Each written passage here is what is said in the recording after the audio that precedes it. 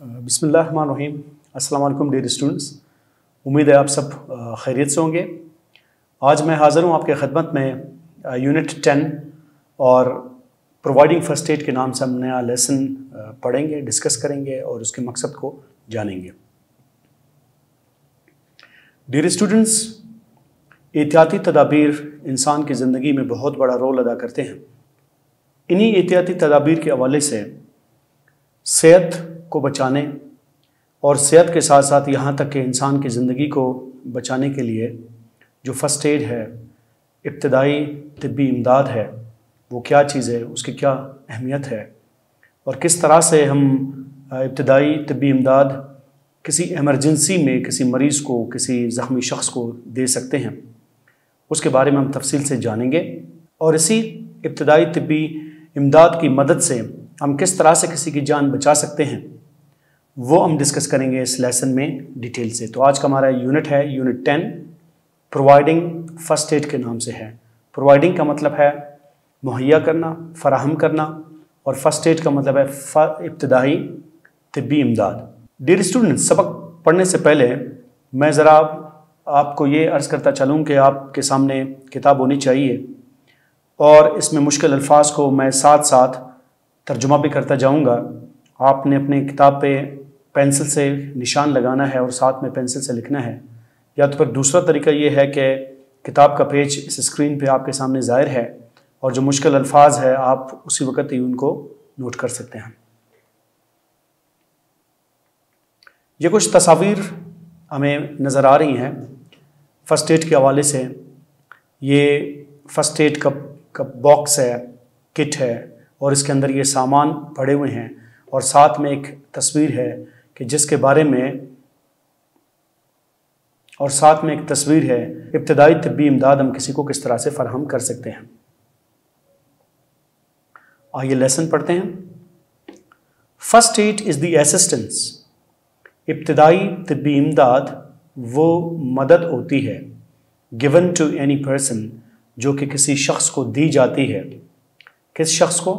Suffering from a sudden illness or injury to preserve life यानी ऐसा शख्स जो कि अचानक से बहुत बीमार पड़ा है या ज़ख्मी हुआ है, उसकी ज़िंदगी को बचाने के लिए इब्तदाई तबी इमदाद दी जाती है। Prevent the condition from worsening and promote recovering इब्तदाई तबी इमदाद इस वजह से भी दी जाती है कि सूरत आल को मज़ीद बिगड़ने से बचाया जाए और प्रमोट रिकवरिंग जो सियातियाबी का अमल है, उसको तेज से तेज तर करना है। प्रिवेंट का मतलब है रोकना। प्रिजर्व का मतलब है बचाना। असिस्टेंस का मतलब है मदद देना। कंडीशन आलत वर्सनिंग बिगड़ना। प्रमोट का मतलब है कि उसको फ़रोग देना, परवान चढ़ाना। It is the temporary and immediate help it यहाँ पर रेफ़र कर रहा है फ़र्स्ट एड को, यानी इब्तदाई तबी इमदाद को। It is the temporary and immediate help. ये आरजी, लेकिन फौरी मदद होती है। एनी लेमैन, कोई भी आम सा आदमी कैन बी ट्रेंड उसको तरबियत दी जा सकती है टू एडमिनिस्टर फ़र्स्ट एड, कि वो फ़र्स्ट एड मुहैया कर सके। First aid knowledge ranges first aid का जो इलम है, उसके हदूद कहाँ से कहाँ तक है? Ranges from taking care of cuts to dealing with an unconscious person कि किसी एक मामूली ज़ख़म से लेकर एक बेहोश शख्स के साथ किस तरह से निपटा जाता है, ये तमाम इलम फ़र्स्ट एड यानी इब्तदाई तबी इमदाद से हमें हासिल होती है। यहाँ पे कोई मुश्किल लफ्ज़, कोई ख़ास इसमें नहीं है। अनकॉन्शियस का मतलब है बेहोश होना। एम्स मकासद, यानी इब्तदाई तबी इमदाद के मकासद। The key aims of first aid can be summarised जो कलीदी मकासद हैं, इब्तदाई तबी इमदाद के, उनको मुख्तसरा इस तरह बयान किया जा सकता है। In the following three key points मंदरजा झेल तीन अहम नुकात के ज़रिए से sometimes known as the three P's बाज़ अवत इन्हीं तीन कलीदी निकात को थ्री पीस के नाम से भी जाना जाता है। थ्री पीस उसे क्यों कहते हैं? डियर स्टूडेंट्स आपके सामने स्क्रीन मौजूद है। यहाँ पे नंबर लगे हुए हैं। जो पहले आ, जो पहला लफ्स है हर पॉइंट का वो पी से है। तो लिहाजा मुख्तसरन इस फ़ील्ड में से थ्री पीस के नाम से भी जाना जाता है। प्रिजर्व लाइफ ज़िंदगी बचाना। The most important aim of first aid is to save life सबसे जो एम मकसद है इब्तदाई तबी इमदाद का, वो ये है कि किसी की ज़िंदगी को बचाना and minimise the risk of death और मौत के ख़तरात को कम कर देना। मिनिमाइज का मतलब है कम कर देना एम का मतलब है मकसद। प्रिवेंट फर्दर हार्म मज़ीद नुकसान को रोकना या मज़ीद नुकसान का तदारुक करना। This covers both external factors यानी इस बात में दो बैरूनी महरक़ात शामिल हैं सच एज मिसाल के तौर पर या जैसा कि moving a patient away from any cause of harm कि कोई भी ऐसी वजह जो उस मरीज़ के लिए मज़ीद नुकसान का बायस बने उसको मरीज़ से दूर रखना या दूसरे अल्फाज में ये कि मरीज़ को उन नुकसान से दूर रखना। And applying first aid techniques to prevent worsening of the condition जबकि दूसरी बात या आ, उन मुहरक़ात में से दूसरा पॉइंट क्या है कि इब्तदाई तबी इमदाद के तरीक़ार को इस्तेमाल करना, कैसे या क्यों कर? To prevent worsening of the condition कि जो सूरत हाल है, उसको मज़ीद बिगड़ने से रोका जाए। वर्सन का मतलब है कि मज़ीद नुकसान होना। कॉज का मतलब है कि किसी चीज़ की वजह बन जाना। एक्सटर्नल फैक्टर्स जो बैरूनी महरक़ात हैं। इसी तरह आगे चले थ्री पीज हैं। प्रमोट रिकवरिंग यानी उस मरीज़ के, उस विक्टिम के सेहतयाबी को फ़रोग देना।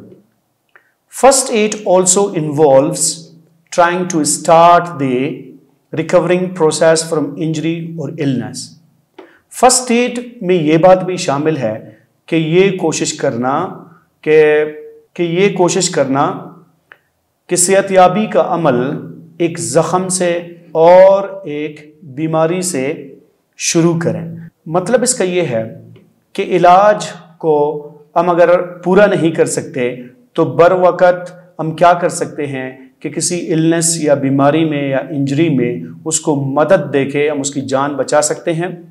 एंड इन सम केसेस और फिर बाज़ सूरतों में माइट इन्वॉल्व कंप्लीटिंग ट्रीटमेंट तो बाद सूरतों में पूरा इलाज ही इब्तदाई तबी इमदाद के ज़रिए हो जाता है।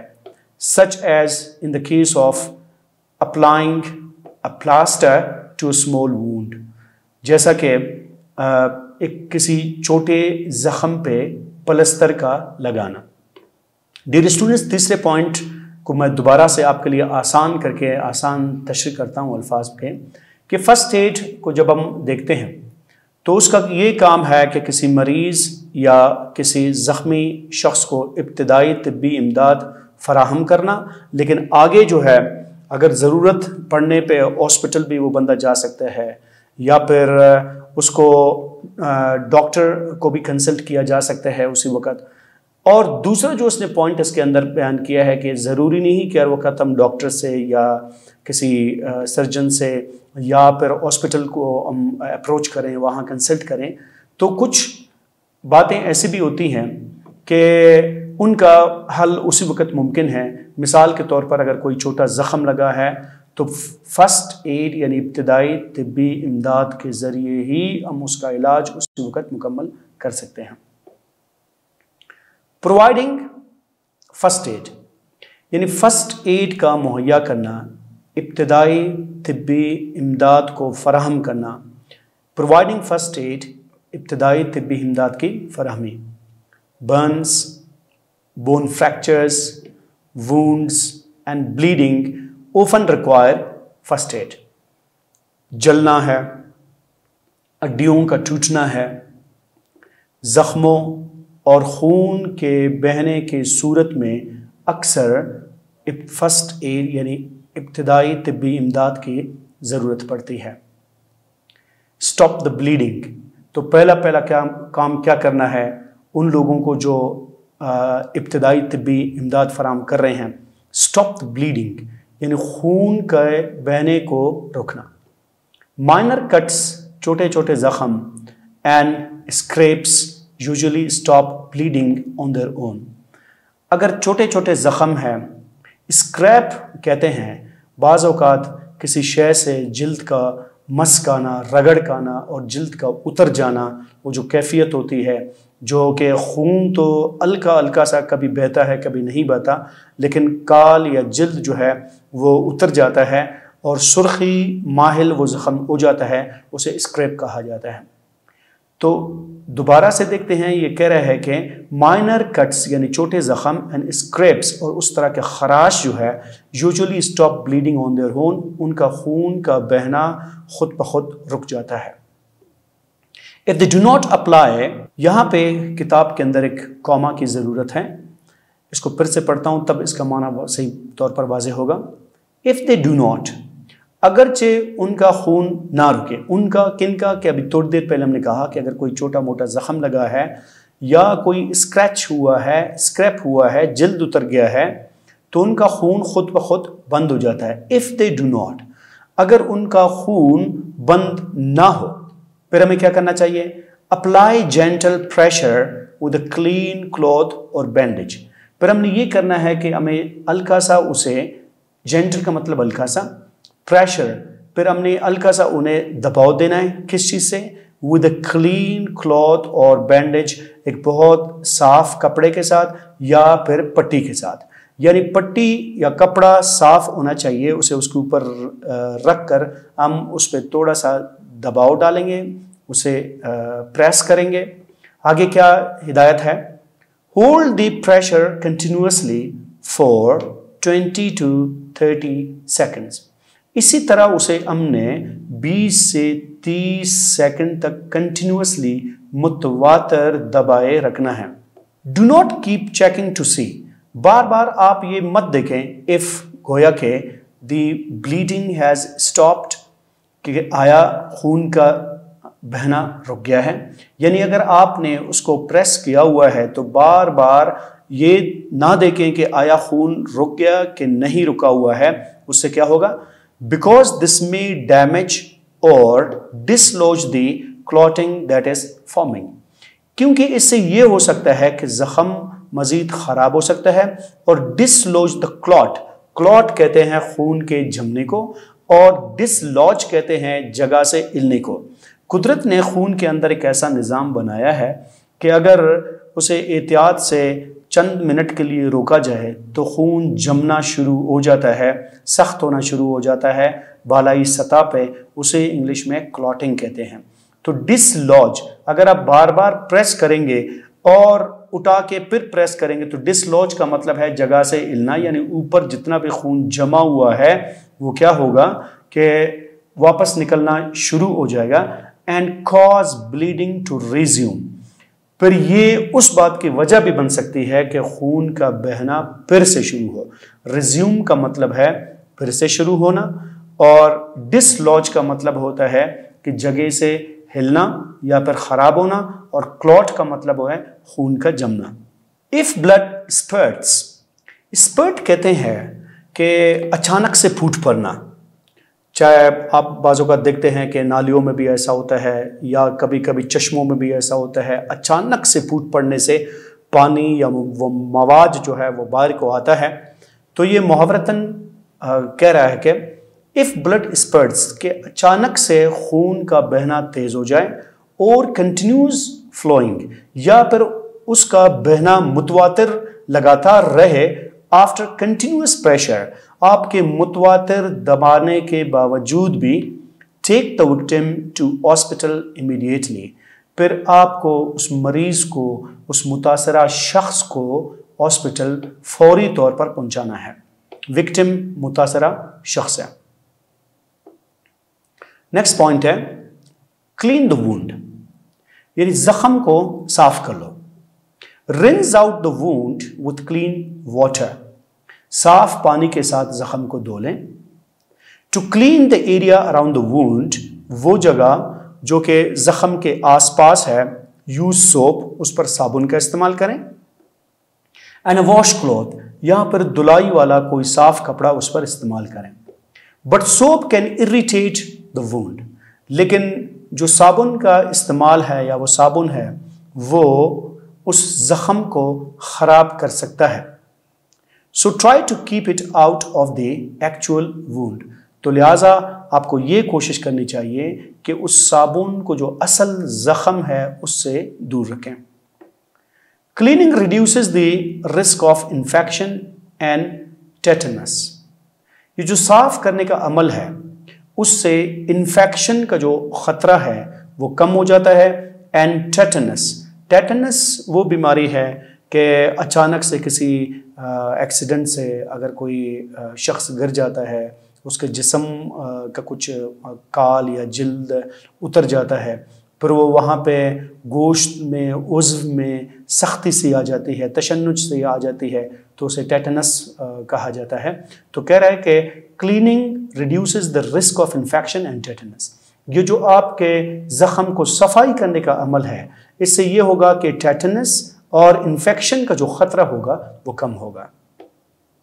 इफ़ डर्ट और debris remains in the wound after washing अगर उस जख्म को धोने के बाद भी उसमें डर्ट यानी मैल है और डेबरी या कोई गंदा मवाद उसके अंदर है तो क्या करना चाहिए? यूज़ ट्वीजर्स फिर हमें छोटे से चिमटी का इस्तेमाल करना चाहिए।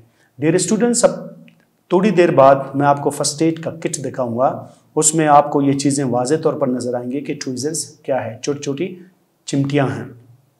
यूज़ ट्वीजर्स छोटे से चिमटी का आप इस्तेमाल करें। क्लीन विद अल्कोहल यानी उस चिमटी का ट्वीजर्स का अल्कोहल के साथ साफ़ होना ज़रूरी है। वो हम क्यों इस्तेमाल करेंगे? टू रिमूव द पार्टिकल्स यानी ज़ख़म में जो मवाद है, ज़रात है उनको हटाने के लिए हम इसको इस्तेमाल करेंगे। इफ़ डेबरी स्टिल रिमेन्स और जो उसके अंदर, ज़ख़म के अंदर गंदा मवाद है, मैल है, वो अभी तक उसके अंदर बाकी है, वो आपसे अटता नहीं है, आपने दोनों की कोशिश की, वो आपसे सही नहीं हो पा रहा तो क्या हैं गो टू द डॉक्टर फिर आपको डॉक्टर के पास जाना चाहिए। अप्लाई एन एंटीबायोटिक जरासीम कुछ अद्वियात का इस्तेमाल करना। After you clean the wound यानी ज़ख़म को साफ़ करने के बाद apply a thin layer of an antibiotic cream जो एंटीबायोटिक जरासीम कुश क्रीम है और ऑइंटमेंट अगर कोई मरहम है तो आपको एक हल्की सी तह थिन लेयर उस जख्म के ऊपर लगाना है to help keep the surface moist यानी जो जिल्द के बाला ही सतह है, उसको नम रखने के लिए, थर रखने के लिए मदद अगर हमें चाहिए तो ये ऑइंटमेंट और जो एंटीबायोटिक है उससे हम इस्तेमाल कर सकते हैं। तो इन दो पैराग्राफ के अंदर हम देखें, जो डर्ट है, इसका मतलब है मैल और जो डेबरी है डेबरी के कई माने हैं। अगर कोई आ, मकान गिर जाता है तो उसके मलबे को भी हम डेबरी कहेंगे। इसमें जो लास्ट एस है अमूमन ये प्रोनाउंस नहीं होता ये साइलेंट है ये लिखा तो डेब्रिस है लेकिन पढ़ा डेबरी जाता है। और उसके बाद आ, कोई मुश्किल लफ्ज़ ख़ास इसके अंदर आ, नहीं है इस पैराग्राफ के अंदर। अब हम चलते हैं नेक्स्ट उस पर ointment does not make the wound heal faster जो मरहम आप इस्तेमाल करेंगे, उससे ये तो नहीं होगा कि ज़ख़म जल्द अज जल्द ठीक हो जाए, बढ़ जाए। But it can help body's natural healing process work fast लेकिन इससे ये ज़रूर होगा कि जिसम के अंदर जो नेचुरल हीलिंग प्रोसेस है, यानी कुदरती सेहतियाबी का जो अमल है वर्क फास्ट वो तेज़ हो सकता है। Cover the wound. ज़ख़म को आप ढांप लें, उसको लपेट लें, उसको छुपा लें। Bandages can help keep the wound clean and keep harmful bacteria out जो हम पट्टियाँ अगर इस्तेमाल करेंगे तो उससे हमें ये मदद मिलती है कि ज़ख़म साफ़ रहता है और जो आर्मफुल बैक्टीरिया है, यानी नुकसानदेह जो जरासीम है, उनको भी हम दूर रख सकते हैं, यानी ज़ख़म को उनसे बचा सकते हैं। First aid box first aid box के बारे में पढ़ने से पहले हम फ़र्स्ट एड किट को देखेंगे बॉक्स को देखेंगे उसके अंदर क्या अशिया हैं। अगर ये मैं पैराग्राफ अभी पढ़ता हूँ तो शायद उस तरह से आपको समझने में मदद ना मिले। लेकिन अगर किट को हम पहले देखेंगे, उसके अंदर चीज़ों को हम देखेंगे कि ये क्या क्या है, बाद में उन्हीं चीज़ों के इस्तेमाल के बारे में आपके इस लेसन में यहाँ पे दर्ज है, तफसील है तो तब हम उसको देखेंगे, तब आपको आसानी से ये बातें समझ में आएँगी और आप अच्छी तरह से समझ पाएँगे कि कोई फ़र्स्ट एड बॉक्स, यानी इब्तदाई तिब्बी इमदाद वाला जो डब्बा है, बॉक्स है, संदूक है, उसके अंदर क्या क्या अशिया है, वो हमें समझने में आसानी होगी। डेर स्टूडेंट्स आपके सामने ये फ़र्स्ट एड किट के अंदर जो अशिया है जो कि हमें आ, काम आ सकते हैं किसी भी इमरजेंसी की सूरत में अचानक बीमार पड़ने पे खुदा न खास्ता अचानक एक्सीडेंट की वजह से किसी भी हादसे की वजह से ज़ख्मी होने में ये चीज़ें हमें मदद दे सकती हैं और आगे सबक में भी इसका तस्करा होगा कि स्कूलों में दफातर में घरों में हर जगह फ़र्स्ट एड यानी इब्तदाई तबी इमदाद का बॉक्स होना चाहिए। तो हम यहाँ से देखेंगे कि ये आपको बैंडेजेस नज़र आ रहे हैं छोटी छोटी पट्टियाँ हैं। अब गॉज का जो लफ्ज़ है, आपके लेसन में बहुत ज़्यादा इस्तेमाल होगा। ये बिल्कुल पतली सी पट्टी है, जाली टाइप की, जो कि रोल की सूरत में भी है और चौरस फॉर्म में भी है। और पैड जो है, इसके पूरे पलंदा अगर हम कहें तो शायद सही हो, यानी gauze roll and pads. Roll उसका ये है, और जो चौरस चौरस आपको नज़र आएगा, ये उसका पैड है। यानी गॉज बजाते खुद, वो पतली सी पट्टी है, कपड़े की मानंद, जाली की मानंद तो जिसका तस्करा भी सबक में हम करेंगे। उसके बाद है, इंस्टेंट कोल्ड पैक है कि खुदा न खास्ता बहुत ज़्यादा बुखार तेज़ हो या फिर बाज़ात तो ऐसा होता है कि दवाइयों को भी बचाने के लिए तो ये कोल्ड पैक है, इसका इस्तेमाल भी होगा। इलास्टिक बैंडेज है, ये इलास्टिक बैंडेज है जिसमें लचकदार एक किस्म की पट्टी है जो कि किचती भी है और फ्रैक्चर वगैरह में स्प्रेन में, जॉइंट स्प्रेन में यानी जोड़ों का ये जगह से हिलने में ये इलास्टिक बैंडेज काम आ जाता है। उसके बाद इमरजेंसी ब्लैंकेट है इसी तरह से थर्मोमीटर है और एम सेप्टिक वाइप्स हैं। ये छोटे छोटे कपड़े की सूरत में या प्लास्टिक के सूरत में, रुमाल टाइप के कुछ जो है शीट्स होते हैं, जिनको एंटीसेप्टिक वाइप्स कहा जाता है, यानी जरासीम को इनसे आप धो भी सकते हैं। और ट्रायंगुलर बैंडेज है। ये ज़रूरत के वक़्त मुख्तलिफ़ उसमें फ्रैक्चर में, जैसे इसकी तरह इलास्टिक की तरह, ये भी काम आ जाता है। ये सेफ्टी पिंस आपको यहाँ पे नज़र आ रहे हैं, जो कि बैंडेज को बांधने में आसानी पैदा करते हैं हमारे लिए है। इसी तरह अगर हम आएँगे, ये सिजर्स हैं कैंची है, ये वो ट्विज़र्स है जिसका थोड़ी देर पहले हमने तस्करा किया था कि वो जो चिमटी है ज़ख़म के अंदर, खुदा न खासा कोई ऐसा मैल है, गंद है या कोई ज़रात हैं उनको निकालने के लिए ट्विज़र्स का इस्तेमाल किया जाता है। इसी तरह आगे हम चलेंगे, ये हेडेसिव टेप है। ये एक ऐसा टेप है जो प्लास्टिक में भी है और कागज़ में भी है और चिपकने वाला है कि उसको बांधने की ज़रूरत नहीं पड़ती। आप उसको कहीं पे वक्ती तौर पर चिपका भी सकते हैं और उसके अलावा ये ग्लव्स हैं। ग्लव्स कई किस्म के होते हैं। तो प्लास्टिक के भी होते हैं, रबड़ के भी होते हैं। तो आगे चल के आपके लेसन में दीगर जो टाइप के ग्लव्स हैं, उनको भी मैं आपको दिखाता हूँ। उनका भी तस्करा होगा। ये वो ग्लव्स हैं जो कि लेटेक्स ग्लव्स कहा जाता है। इनका तस्करा आपके लेसन में भी होने वाला है। ये बिल्कुल बारीक से ग्लव्स हैं और रबड़ के हैं। ये खसूस खुदा न खास्ता अगर बहुत ज़्यादा कोई शख्स ज़ख्मी है, उसके जिसम से रतूबत जो है वो निकल रही है तो उसको साफ़ करने में ये बैंडेज हमें तो उसको साफ़ करने में ये ग्लव्स हमें काम देते हैं। ये ग्रीन कलर के भी हैं। तो अभी हम पढ़ेंगे लेसन को आगे। इन्हीं चीज़ों का तस्करा उसमें है। अब जब हम पढ़ेंगे, आपके लिए आसानी होगी। फ़र्स्ट एड बॉक्स जो भी मैंने तस्वीर आपको दिखाई हैं, वो फ़र्स्ट एड बॉक्स के अंदर रखने वाली जो चीज़ें थी, वो हैं और वो किस तरह से हमें काम देती हैं चीज़ें, उनकी तफसील हम अभी देखते हैं। Every office factory home and school should have an accessible first aid box with the following recommended basic contents यानी हर दफ्तर, हर फैक्ट्री हर घर और हर स्कूल के अंदर एक्सेसिबल फ़र्स्ट एड बॉक्स एक ऐसा तिब्बी इमदादी बॉक्स होना चाहिए जो कि आसानी से रसाई के काबिल हो, यानी हर कोई उसको आसानी से इस्तेमाल कर सके with the following recommended basic contents जो मौजूदा मुजवज़ा चीज़ें हैं, बुनियादी चीज़ें हैं, उस बॉक्स के अंदर होनी चाहिए। वो क्या है? उनका तस्करा नीचे है। बैंडेड्स प्लास्टर यानी बैंडेड जिसको प्लास्टर भी कहा जाता है।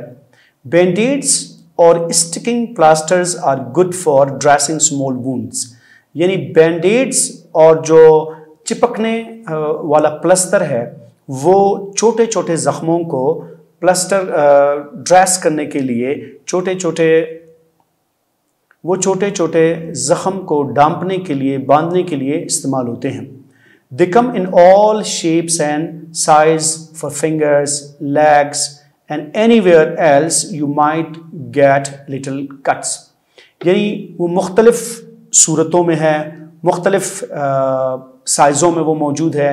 मिसाल के तौर पर उंगली के लिए भी है पाँव के लिए भी है और जिसम के कहीं पर भी खुदा न खास्ता आपको कोई ज़ख़म लग सकता है तो उनके लिए बैंडेड्स यानी प्लास्टर का इस्तेमाल होता है। मेक श्योर sure, इस बात की आप यकीन दहानी कर कर लें the band aid is big enough to cover the wound कि जो आप पट्टी इस्तेमाल कर रहे हैं, जो आप प्लस्तर इस्तेमाल कर रहे हैं, वो इतना है कि जख्म को डांप सके।